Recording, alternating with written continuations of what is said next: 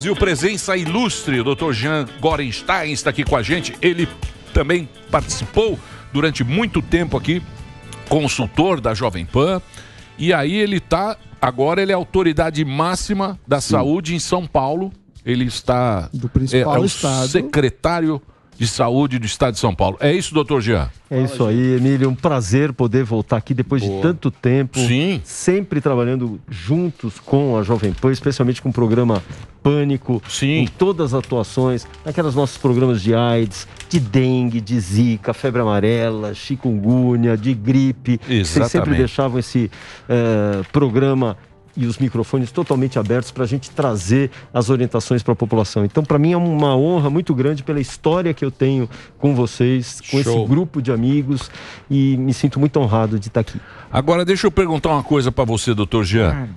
É um pepino, né? É, um- Pepino. é- é um pepino, é um pepino, tá no- na gestão pública nesse momento, né? É, é complicado, né? Eu acho que é um desafio, e foi realmente um desafio, principalmente porque eh, vivenciei as duas eh, ondas da, da, da pandemia. A primeira, que dias antes de eu assumir, ainda dava uma sensação de estabilização, uma semana depois nós estávamos com o pico da primeira onda. E agora, nessa segunda onda, que foi muito mais intensa, e muito mais veloz. E à medida que ela é mais intensa e veloz, ela impactava muito mais a necessidade de você acolher as pessoas, eh, seja em unidades de terapia intensiva, e quando a gente fala, não é só leitos de unidade de terapia intensiva, você tinha que ter respiradores, monitores, medicamentos e equipe médica. Então, médico, enfermeiro, fisioterapeuta, técnico de enfermagem. Então, tudo isso Essa conta é muito difícil de fechar. Então- Por exemplo, na Alemanha agora não tem pessoal. Pois é. Não tem, não tem É. enfermeiro. Tem profissional. Tem, é- tem e é o leito, isso. tem o leito, tem o respirador, tem tudo, mas não tem o profissional. Então é uma conta difícil de. Sem de- dúvida, isso foi um grande, realmente, desafio e felizmente por essa liderança do governador João Dória, do vice-governador Rodrigo Garcia, de acreditarem que nós temos sim que priorizar a vida. Isso não era só na fala, no discurso, mas nas ações. Eu lembro que uma semana depois de eu ter assumido, o governador virou para mim e falou: Jean, vá para Brasília, leve que nós temos lá Miami. eh, uma vacina, que o Ministério já pode fazer, então, essa aquisição. Isso vai fazer com que a gente possa vacinar os brasileiros de uma forma muito mais rápida. E por várias vezes. A chinesa. A chinesa. E por a que que, por que que tem, tá tudo Tá encalhado vencendo, tá agora? vencendo, Então vamos lá. Ninguém quer. Tá encalhado. Vamos contar, voltar para a história. Esses E a caras foram tudo na Pfizer. E aí o que, que acabou acontecendo? Esses caras foram tudo na Janssen, na Pfizer. É Janssen. Sammy escolheu vacina. Ficaram Janssen. escolhendo vacina, agora que tá... só é, é. Só para você ter uma ideia, É. Emílio, Do a FDA. Foi conseguir ter eh, as vacinas disponíveis para o Programa Nacional de Imunização apenas em janeiro, quando na verdade nós já tínhamos ela disponível a partir de outubro. Portanto, fomos vacinar três meses depois. Isso teria tido um impacto muito importante, principalmente na vacinação daquelas pessoas que eram muito vulneráveis, com risco de desenvolver formas graves e fatais. Os velhos. Que eram os velhinhos. Que eu. Eu, por que exemplo. eram os portadores de Eu doenças fui o primeiro a tomar. E que foram aqueles que foram impactados pela vacina. E a Sim. vacina, felizmente, mostrou o que nós chamamos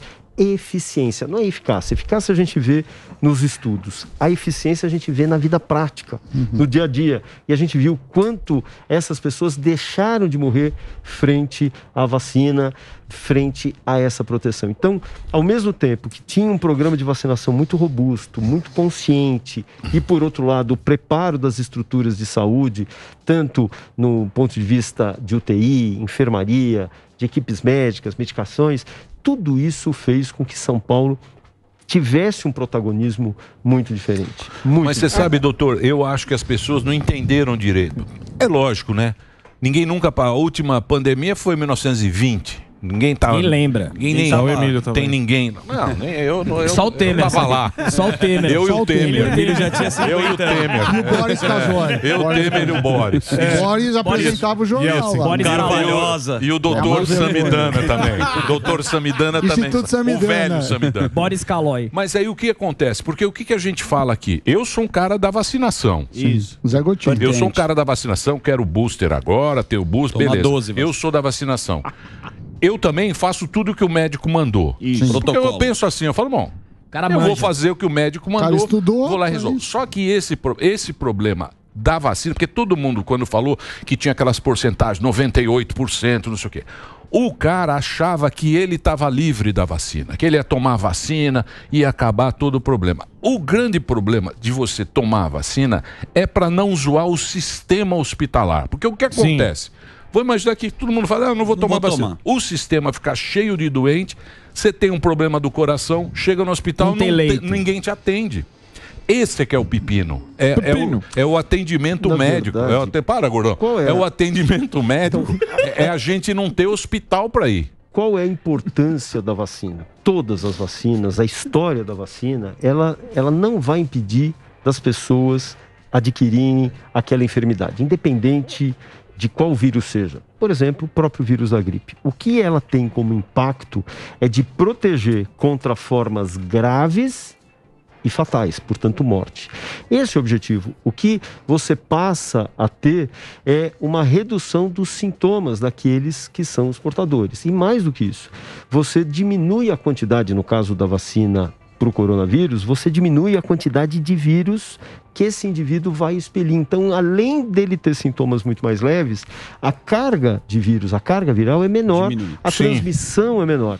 Por isso, aliar a vacina com um programa em que a obrigatoriedade do uso de máscara se faça presente é absolutamente fundamental. Sim. Isso fez com que nós pudéssemos fazer as retomadas. Hoje temos eventos seguros, seja no esporte, seja na cultura, seja no entretenimento, e fazendo então com que as pessoas voltem Então, no novo normal. mas o doutor, a galera tá fazendo a parte dela, né? Tá. O, o, o povo tá, o povo tá usando máscara, tá? Sim, Tem, se lógico, vacinou. tem, tem evento, tem uma festa ou outra Farofa ali. GQ. Farofa. É, Farofa tem, da o- GQ. tem um evento, tem um outro negócio ali, mas eu acho que as pessoas, a maioria das pessoas está fazendo a parte, a Eu não- parte da a população, ela eu tá não tenho dúvida né? disso, viu, Emílio? E eu digo mais: hoje o estado de São Paulo é o estado que mais vacina, não só no país, mas se São Paulo fosse um, um país, ao invés de um estado, ele vacina mais do que a Alemanha, mais do que a Suécia, mais que a Inglaterra, mais que Israel, mais do que o Chile, mais do que os Estados Unidos.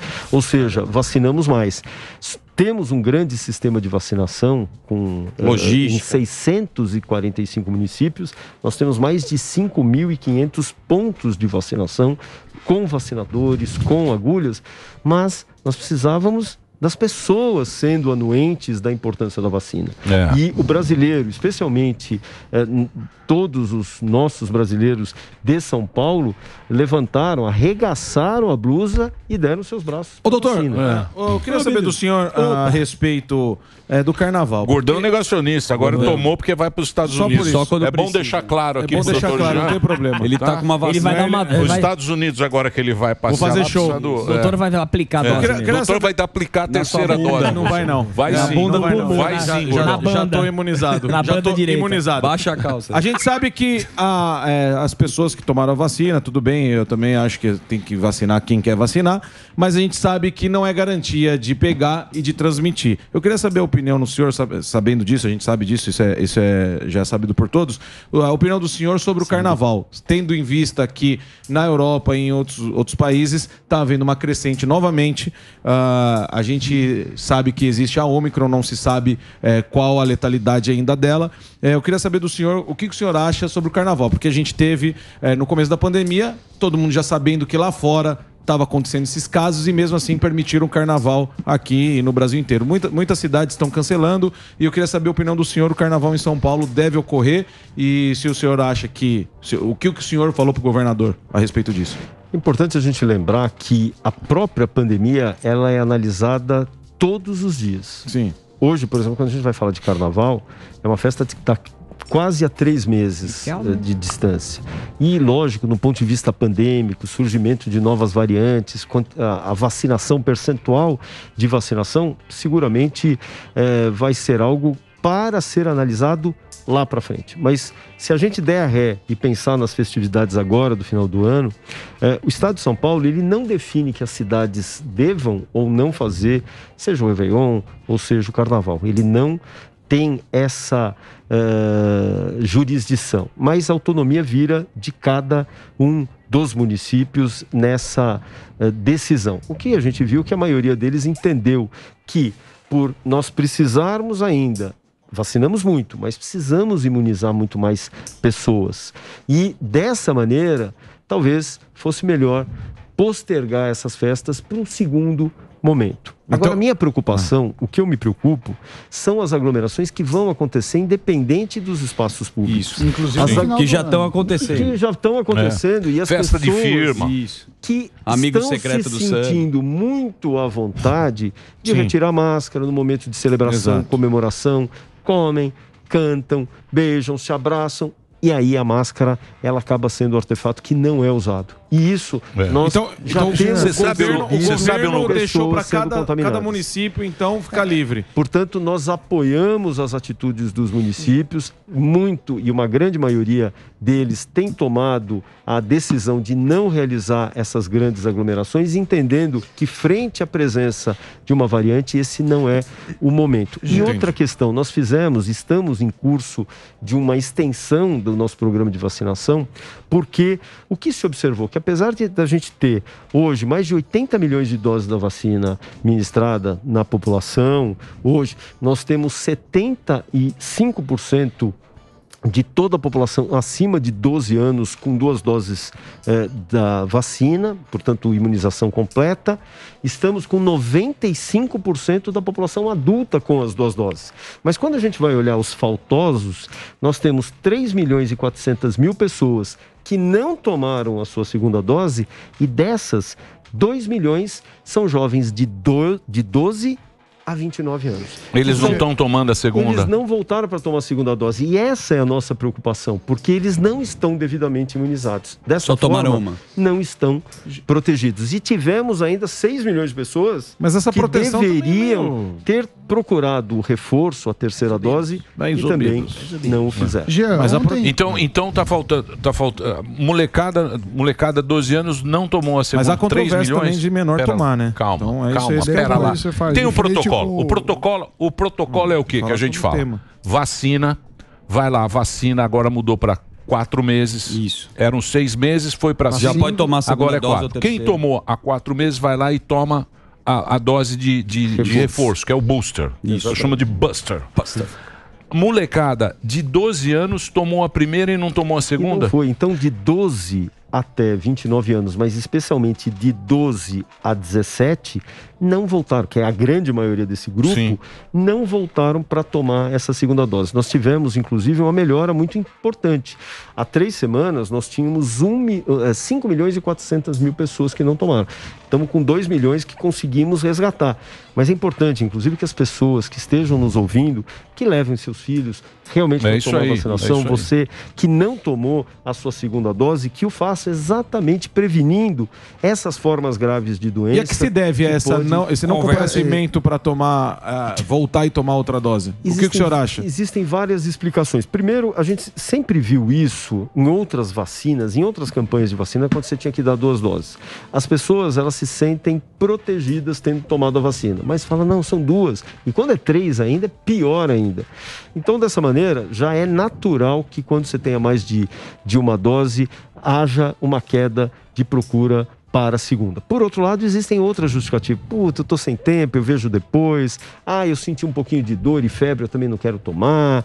Eh, e assim, outras justificativas. Na verdade, é acabam a maior justificativa que parece que é o que a gente vê é, durante, é, ao redor do mundo é que as pessoas não querem se vacinar por conta que ainda é algo experimental. Além de não ser garantia de nada, a gente vê muitas pessoas morrendo. é, não é uma grande população que se vacina, mas tem gente morrendo por conta de vacina e há um medo. Não é por outras questões. Negacionista. Só, não é negacionismo e não é só essa questão que o senhor colocou. Muita gente eh, tem medo de tomar a vacina por ser algo ainda experimental que ainda não é eficaz 100%. Mas não é mais experimental. Deixa eu dizer uma Ai, coisa. opa. As Não é vacinas, mais experimental. Elas deixaram de É, ser já deixou há muito experimentais. Elas têm trabalhos e acompanhamentos científicos que dão exatamente essa eficácia tanto de segurança e mostra o quanto ela tem a sua capacidade de proteção. Por outro lado, ela já mostra na prática o quanto nós tivemos impacto eh, na nossa epidemia. Só para ter uma ideia, hoje eu tenho internados nas nossas unidades de terapia intensiva 940 pessoas em todo o estado de São Paulo. No pico da segunda onda, nós chegamos a ter 13.150 pessoas internadas. Se eu somasse enfermaria e UTI, eu estava com 31 mil pessoas internadas. Hoje, somando as duas, eu chego a 2 Isso foi o que? Abril, maio do ano passado. Isso, De- desse é, ano. agora né? desse Desse ano. Foi, Quer essa- dizer- foi, foi aquela de, de Manaus, né? Exatamente. Aquela cepa de e Manaus. aí, com isso, eh, por, a- a- o impacto da vacinação foi muito importante. E isso reduziu, inclusive, uma das grandes preocupações, você está falando de recursos humanos, eh, o fato do primeiro grupo, além dos idosos e portadores de doenças crônicas, mas os profissionais da saúde, fez com que nós pudéssemos proteger essa população tão importante no fronte, que era exatamente essa que estava se infectando e com isso saiu uma equipe inteira, todos, não só aquele que estava doente, mas todos no seu entorno para fazer as quarentenas ou os isolamentos.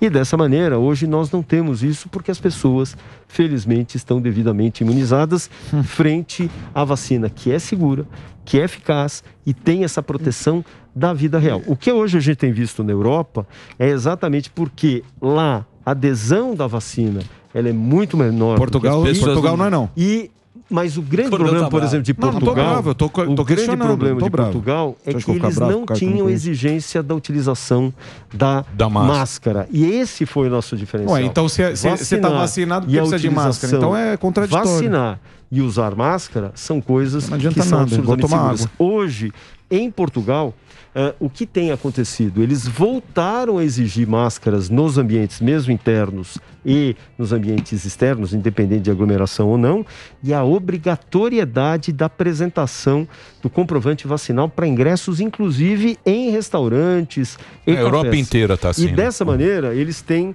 essa situação atualizada e diferente daquilo que a gente viu há algumas semanas. Portanto, São Paulo não mudou a sua estratégia e é frente a isso que nós estamos avançando, podendo dizer que estamos com controle da pandemia. Isso não quer dizer que nós não que acabou a pandemia, Vamos né? esperar, é. É, é. Exatamente. Vamos fazer é break só da rede, né? A gente continua, a gente continua aqui na Panflix, o papo tá muito bom. Nós estamos conversando aqui com ele que dúvidas. manda. Ele que é Jean o ele, doutor Jean.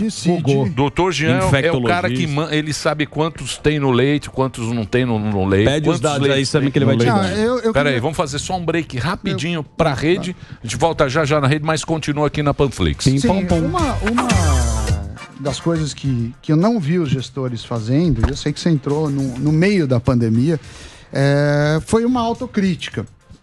Por exemplo, São Paulo, a gente teve aqui na cidade de São Paulo um, um rodízio meio que sem pé nem cabeça, entrou no ar por uma semana, depois voltou.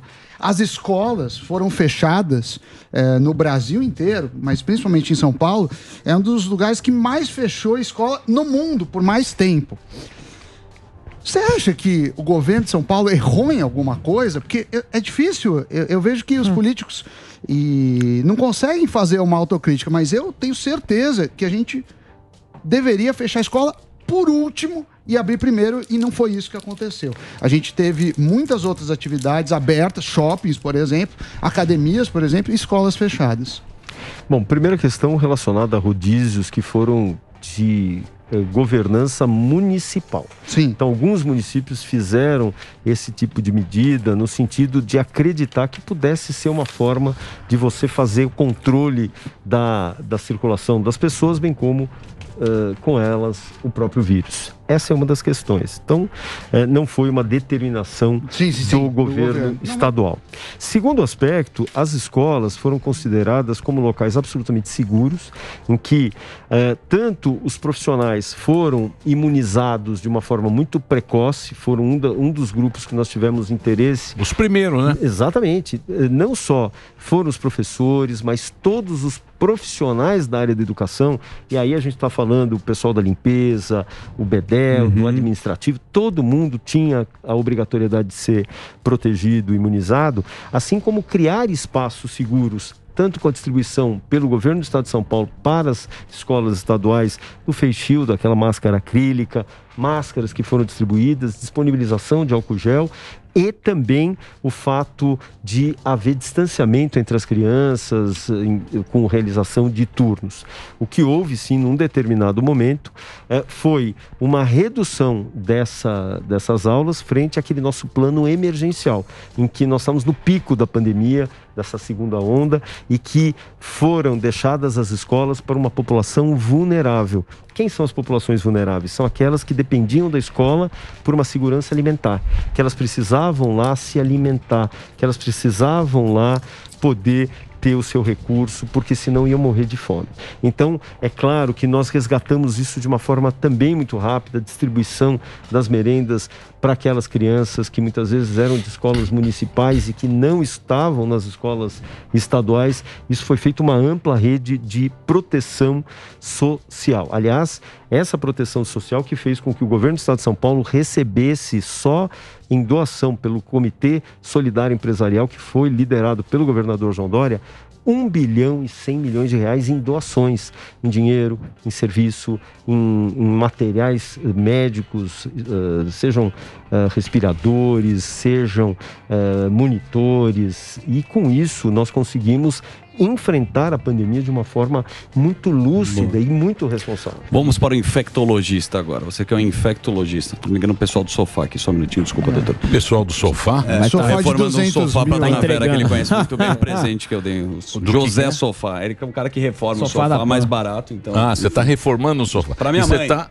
Ah, não, presente, o dele ele compra ah, Ele deu o dele. Ah, conhece bem a dona Vera. Deixa eu te fazer uma pergunta. Dona Vera, dona Vera é gente fina. Opa, Trabalhou é. lá na Emílio Ribas com ele. Sim. Verba Magalhães. Doutor, é o seguinte, eu acho que você como médico, no começo da pandemia, como tinha pouca informação, todo mundo chutou e errou.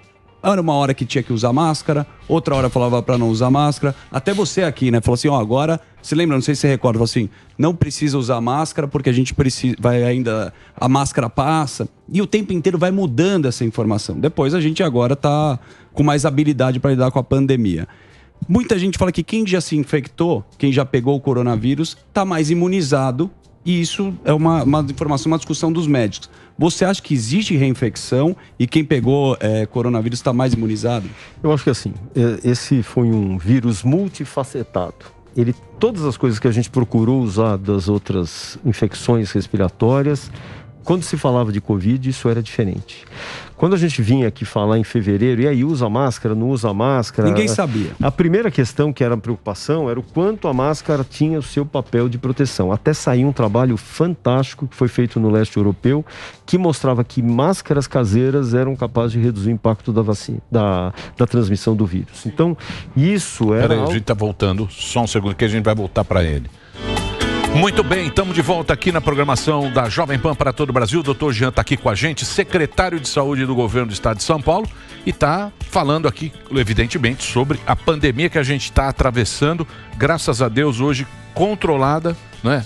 A gente tem um controle maior no, no, Brasil inteiro dessa pandemia, mas a pandemia ainda não acabou. Então a gente está tá falando sobre festas de final de ano, tem sim. lugar que vai ter, tem lugar com carnaval, Isso. que a gente não sabe. O que a gente sabe é que vocês, dia 11 agora, ou seja, depois da manhã, já seria liberado o uso de máscaras ao ar, por quem, sem, ar livre. quem está ao ar livre, na rua e tal. Não precisaria mais. Não precisaria mais. Voltou atrás. Ou seja, a gente vai ter que continuar usando por Sem um período a máscara. E tem a questão do passaporte Isso. de vacina é, que vai ser implementado. O que Sim. acontece, o que passou a acontecer é que o próprio comitê é, científico fez, estabeleceu algumas metas que nós deveríamos ter na pandemia para atingir, para poder é, escalonar uma retirada segura das máscaras. E com isso, nós precisávamos ter uma redução continuada, mas tinham números específicos de número de casos, de internações, de mortes e da, do percentual da população vacinada, a população eh, elegível acima de 12 anos que deveria estar vacinada. Então, para você ter uma ideia, para vacinação era 75%. Estamos hoje com 75 vacinado. Então, exatamente. Tinha uh, conceitos de médias móveis, todas elas foram atingidas. Mas, de novo, o governador João Dória eh, recebendo esses dados que nós dizíamos que eh, o segunda, a segunda dose, naquele primeiro momento, eram 5 milhões e 400 mil pessoas, ele dizia: não, antes vamos vacinar e imunizar, porque são essas pessoas. Você que manda lá, Jean. Que circulam mais. Não. O Dória. O Dória escolhe a gravata. Você O Dória que só manda. escolhe a gravata. Só escolhe a gravata. vai pra Miami. Ô, só- Dória isso. vai pra Miami. Não, Tá não vem não.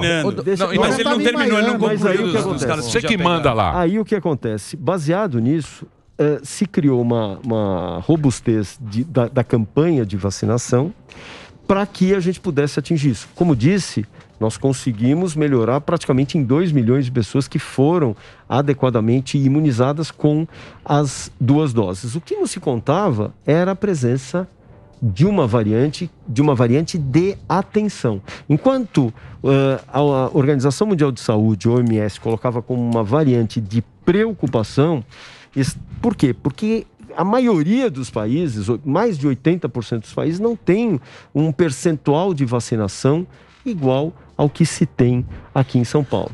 Então, dessa forma, eles conceituaram como preocupação e nós como atenção. E dessa forma, se achou prudente, então, rever essas informações, mantendo-se. Isso agora, você está falando da Omicron? Da Omicron. E com isso, nós mantivemos essa obrigatoriedade de uso de máscaras em todos os ambientes, sejam Então, externos ou ambientes O- fechados. O protocolo é o quê? É vacinação. Todo mundo vai vacinar, 12 para cima, 12 para cima com o pai, né? Sim. Com o pai é o responsável, 12 para cima vacina. Quem já vacinou há mais de quatro meses, Quatro meses. pode tomar o reforço. Evitar aglomeração, Usar uso de máscara e álcool gel. Não, mas tem o passaporte que eu quero saber Isso, o que- passa- como vai isso, ser. o passaporte que hoje, agora. O que hoje nós temos feito é exatamente imunizar, imunizar mais, resgatar as pessoas. São Paulo antecipou essa dose de reforço, entendendo que frente à presença de uma nova variante e frente a trabalhos que foram realizados que poderiam permitir essa terceira dose ou dose de reforço, principalmente eh, sendo dada após 10 a 12 semanas, portanto, a gente se utilizou de um trabalho científico bem considerado para eh, o intervalo de quatro meses e dessa forma proteger ainda mais a população, especialmente todos aqueles acima de 18 anos. Hoje, nós temos uma grande discussão com a Agência Nacional de Vigilância, que é a necessidade de vacinar crianças de 3 a 11 Meu anos. Isso já tem sido feito em vários países. De que idade, desculpa? 3 a Não, mas isso a é só Israel, né? Israel- 3 a 11 anos. Israel Quais é que é mais. Muito controverso Estão fazendo. Israel está fazendo, Malásia está fazendo, Filipinas está fazendo, China está fazendo, ah, nós estamos ah, Chile também com grande segurança. Essas vacinas têm segurança. E hoje, quando a gente fala de vacinas seguras, nós voltamos àquilo que nós tínhamos iniciado no programa, que é a Coronavac. A Coronavac é uma vacina extremamente segura e eficaz, principalmente nessa faixa etária. Ou seja, a chance de efeitos colaterais é praticamente nulo. Mas não tem E um ela- estudo, né? E eles têm os estudos, estudos que foram realizados nesses na Anvisa? países. Não, falar que não tem estudo, por Já isso que foram apresentados esses estudos na Anvisa, estão sendo reportados novos estudos acrescidos àqueles que já foram enviados, porque é importante que essa população seja vacinada. Só para você ter uma ideia, Emílio, de março do ano passado, no início da pandemia até hoje, nós tivemos mais de 2.500 crianças que morreram em decorrência de eh, Covid. E dessa maneira, nós temos como obrigação proteger a todos. Ninguém pode ficar para trás. Ô, doutor. E principalmente essa faixa etária. Ô, doutor, o que me preocupa mais é o ciclo que a gente vive. Porque é um ciclo assim: tem uma nova variante, aí tem um desespero, aí começa um monte de informação nova, aí fecha, alguns países fecham ou ficam meia bomba, aí depois tem uma nova dose que vai suspender completamente os efeitos dessa nova variante. Esse ciclo a gente está vendo é, sendo quase infinito. Como é que o senhor vê que o final disso? Vai ter algum momento que a gente vai ter que falar, não, a gente vai ter que enfrentar isso aí, não, porque esse ciclo ele tá ficando extremamente vicioso. A gente está nessa pandemia toda hora tem uma nova variante, aí depois tem uma nova informação, aí depois tem uma nova dose. Como é que vai ser, o senhor analisa isso como médico e gestor? Como vai ser o final disso? tua pergunta é fundamental e importante. Por quê? Todas as vezes que a gente vai olhar a produção de novas cepas mutantes, essas variantes, por que, que elas acontecem? Porque em algum lugar do mundo esse vírus está circulando e muito. Quando ele circula muito entre uma pessoa e outra, ele tende a ganhar outras características que a gente chama geneticamente Mutação. de mutação. E com isso, como nós vivemos num mundo globalizado, é natural que as pessoas estejam disseminando isso através de portos, de aeroportos e levando para outros lugares. Portanto, a primeira questão que nós temos que ter a consciência que assim que como em 2009 nós tivemos o H1N1 que veio e veio para ficar, o Covid também veio, o coronavírus Isso, vai virar uma- veio isso. para ficar. Por isso a imunização frequente e alguns cuidados que devem ser tomados. Segundo, nós temos, especialmente os países ricos, tem que ter uma ótica para os países pobres para vacinar. Isso me fez lembrar, em 2004, eu fui para um congresso em Bangkok, na Tailândia, para um evento de AIDS. Era um congresso de AIDS. Quem abriu esse evento era Nelson Mandela, Indira Gandhi e Kofi Annan, que na época era o presidente da eh, ONU. E qual era o tema? Access for All. Era acesso para todos para a terapia de antirretroviral. Hoje, nós estamos com esse mesmo olhar. Os países pobres precisam de vacina. O continente eh, africano ele tem uma média de vi- 6% de vacinação no continente. Alguns têm 1 a 2% de vacinação. Enquanto esses países não forem vacinados de forma eh, real, ampla, serão grandes celeiros de produção de variantes. porque é global, e com né? isso É global. teremos Cara que viaja, enfrentar- Precisa acabar no mundo inteiro, não, Não, assim, adianta. mas Senão... eu queria falar da polêmica do passaporte de vacina. O que, que aconteceu? O Dória, e eu acho que, que, claro, você deve também ter É o Jean que essa- manda. O Jean. O Dória só Você põe a assim, Só vai no- no- Até o dia 15, se não tiver, a gente vai implementar o passaporte.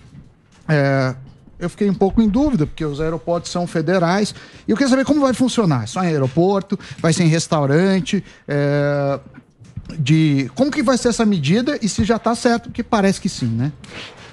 Essa questão é muito importante porque assim é feito no mundo. Todos os países que têm como perfil e responsabilidade o controle da pandemia, para você ingressar, ou seja, chegar ali, ou até melhor, antes de entrar no avião, você obrigatoriamente tem que mostrar o seu teste de PCR realizado até 48 horas antes, o teste de antígeno e carteira de vacinação. Mas isso Sem- internacional ou- isso ou nacional? internacional. Para Internacional. qualquer lugar que você vá, você tem isso. E isso era uma solicitação que a própria Agência Nacional de Vigilância Sanitária fez aproximadamente uns 40 dias para o Ministério, para que fosse então feita uma obrigatoriedade desse tipo de cobrança para os pacientes eh, que venham do exterior, sejam eles brasileiros ou sejam estrangeiros, porque dessa forma você tem a possibilidade de garantir que não haja o risco de você trazer para cá pessoas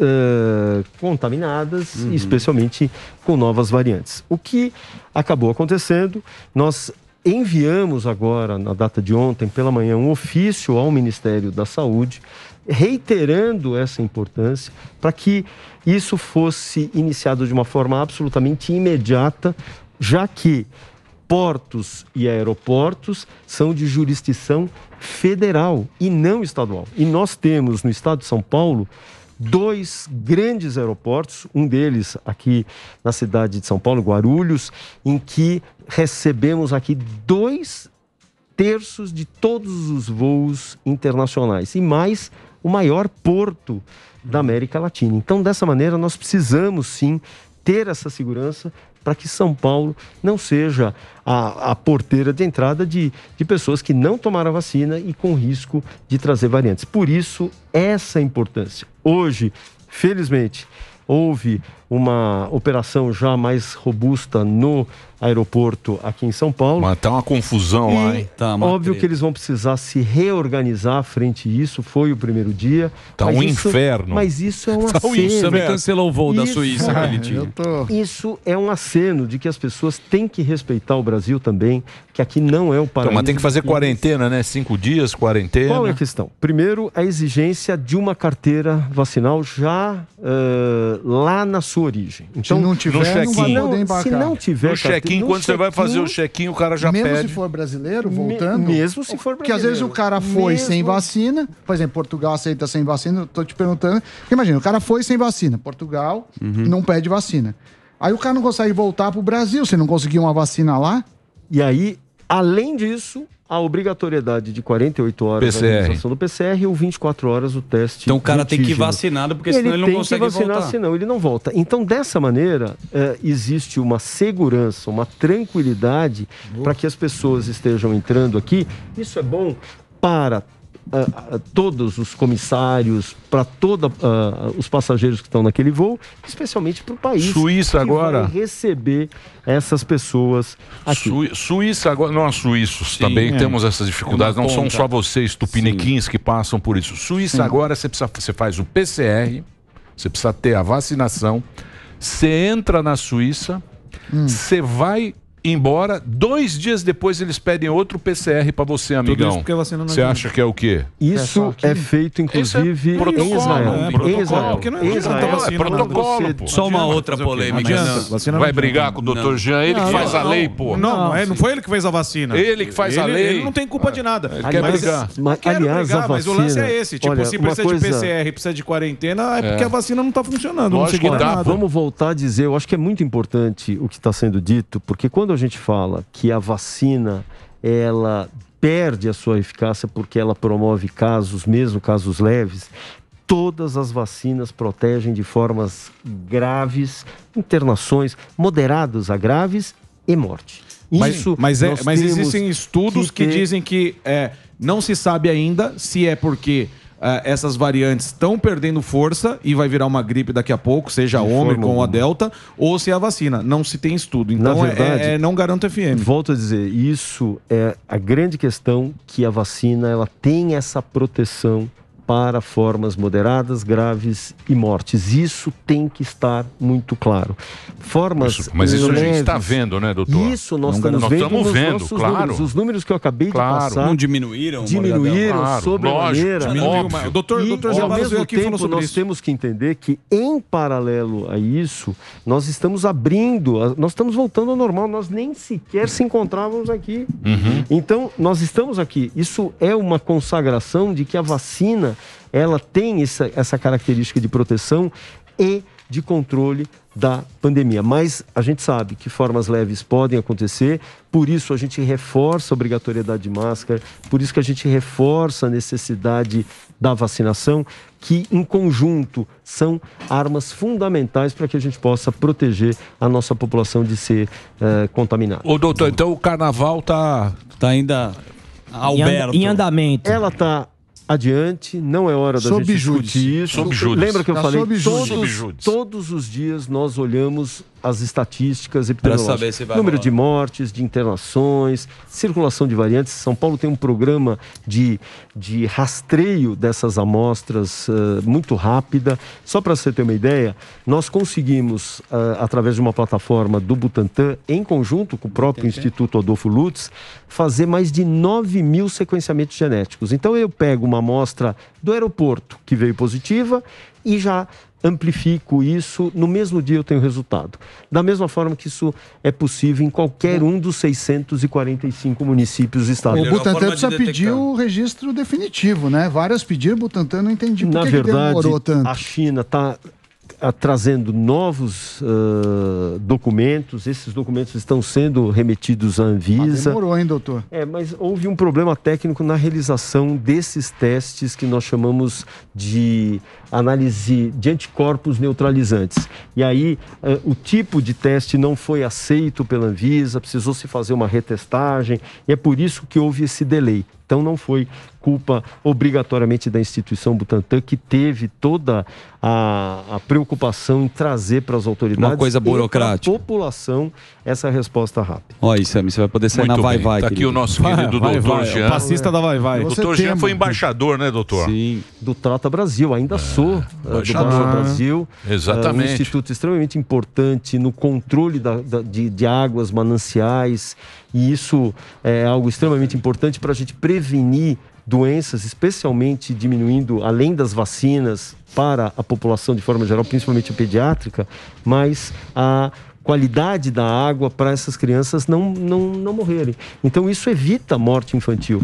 Então nós com essa quanti- com essa qualidade eh, e, e- e segurança dos nossos mananciais e rios foi possível diminuir a mortalidade. E aí a gente volta para o que tem sido feito aqui em São Paulo no Rio Pinheiros totalmente despoluído, mas ele foi despoluído não só no rio, mas em todas, as- foram mais de 190 quilômetros de canalizações que foram feitas em várias comunidades, que o, o esgoto era praticamente a céu aberto muitas das vezes, e que desembocavam nas águas do Pinheiros. Então isso mostra a prevenção e a qualidade na assistência à vida. Sim. É isso que é importante em Show. todas as esferas É isso da aí, nossa doutor. sociedade. Puta, queria agradecer, doutor Jean. Sim. Corenstein. Exatamente, o doutor Jean, ele é, ele é secretário, ele que faz a lei. É, não acha isso. que é o Ele Dória, que faz não. o nó da gravata fecha do e quem não Dória. fecha é com ele. E o, o, O Dória só vai na coletiva. Só. Só na Isso- coletiva. isso quando é na notícia coletiva. boa, quando é ruim é outro. Quando, quando é ruim, ele vai. Ele manda o Jean. Quando é ruim. Quando é ruim, vai Quando é coitado Quando é do doutor notícia Jean boa, que vai lá. é Quando é ele. bom, ele vai. Mas quando é ruim, coitado dele que de põe a contar uma cara lá. história. Claro. Tenho, então eu vou Por contar quê? uma história. Deixa ele contar uma Uma história.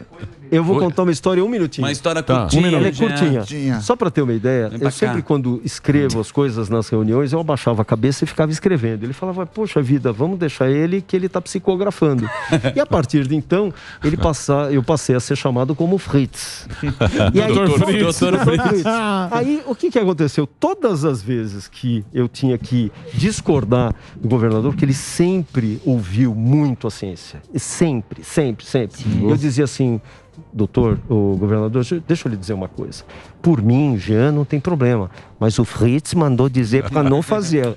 Ele sempre seguiu o Fritz. Então, eu acho que assim, quando ele fala, nós ouvimos e obedecemos a ciência, é verdade. Mesmo que ele achasse, discordasse, ele queria que nós dessemos justificativas. E todas as justificativas respaldaram um plano muito austero, sempre embasado na ciência, sempre embasado na orientação de epidemiologistas, infectologistas, e isso deu as- a, liderança de São Paulo no controle da pandemia. Obrigado, viu, doutor? Doutor Jean conversou aqui com a gente. Agradecer mais uma vez a presença. Boa. Ele que está lá à frente da, da secretaria. manda no Dória. Manda. Manda Fritz no que Dória. manda E no Dória. desmanda. Manda no É isso, Zuzu. Dória. Zuzu. Valeu, todo mundo. Pede pra ele não Obrigado, doutor. fechar depois do